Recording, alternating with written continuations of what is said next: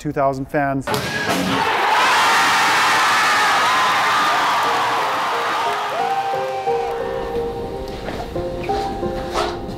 Generally, if you're an athlete, especially a high performance athlete, you have to have that self motivation to get out of bed every morning and actually go to the gym and work hard. The direct translation to what we do at GLC is looking for those types of people that just get out of bed and want to work hard and pursue that learning. In conversations with Glenn and conversations with Marc, it was like, hey, we understand that you get it.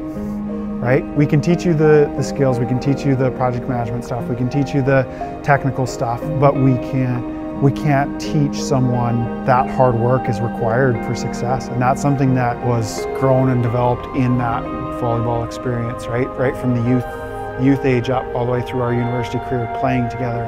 Career opportunities, internship, you can email us at careers at glcsolutions.ca. We'd love to get in contact with you and hear about your story and share more about our story.